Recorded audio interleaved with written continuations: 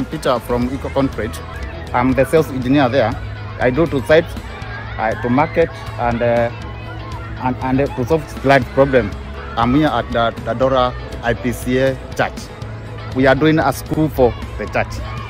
The school and, and two two men students, so they they, they, they end to extend. The client end a problem with the contractor. Reason why? It was expensive for for doing conventional slab.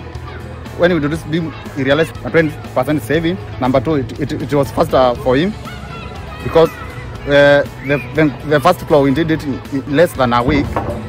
So after that, he started plastering. He realized he can do this all weather conditions because even in a rainy season, he was on ground.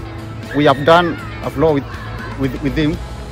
Uh, it, it came to the project because the client, after convincing, without, we are faster uh, compared to conventional slab, which we will have to wait for 21 days.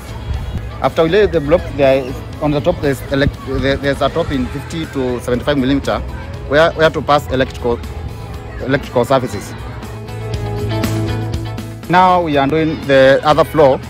We have already done halfway within a day. I think in the next two days it will be complete.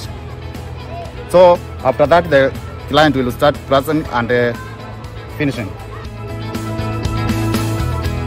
The size of the floor is around 300 square meters. So those are around eight classes. In next few days, the students they can start using the school.